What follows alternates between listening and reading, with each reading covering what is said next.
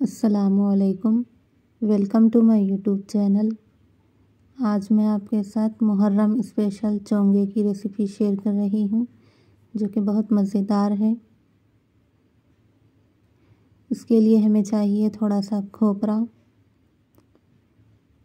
दस से पंद्रह हरी इलायची, थोड़ी सी सौंफ, और ये 200 ग्राम तिल है। अब हम इसको पैन में रोस्ट कर लेंगे। और इसका इस तरह से पाउडर बना लेंगे। ये इलायची, तिल और सौंफ का पाउडर है। अब हम आटा गूंदेंगे।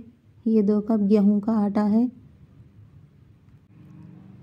इसमें हम घी ऐड करेंगे। घी को पहले आटे में अच्छी तरह से मिक्स कर लेंगे।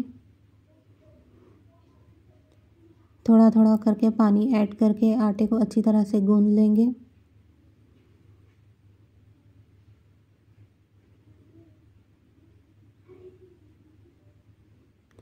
आटे को बहुत ही स्मूथ और सॉफ्ट डो बनाना है। आटा तैयार हो चुका है। अब हम इसका एक छोटा सा डो बना लेंगे। अब हम इसका पेड़ा बनाएँगे।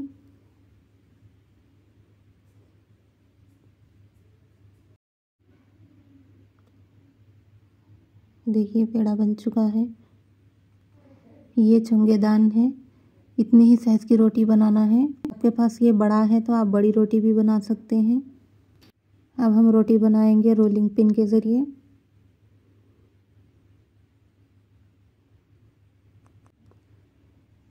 हाई फ्लेम पर रखकर तवे पर रोटी को सेकेंगे।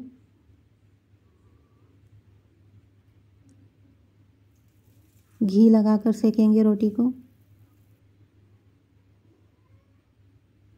ये देखिए रोटी कितनी सॉफ्ट और मुलायम नज़र आ रही है। अब हम इसी रोटी को चोंगेदान पर डालेंगे इस तरीके से।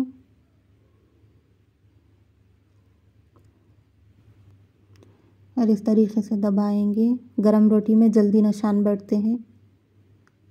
हाथ के ज़रिए भी दबा सकते हैं।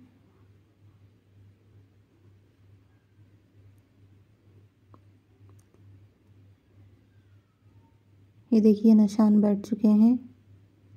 अब हम इस पर मसाला ऐड करेंगे। सबसे पहले हम इस पर चीनी ऐड करेंगे।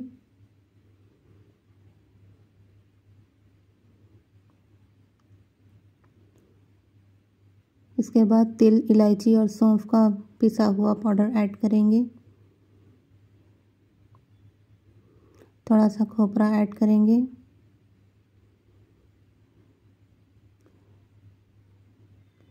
अब हम इसमें घी ऐड करेंगे।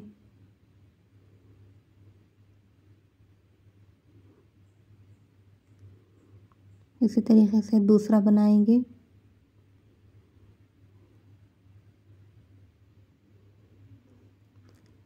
पहले चीनी डालेंगे, उसके बाद तिल, इलायची का पाउडर डालेंगे, उसके बाद खोपरा डालेंगे।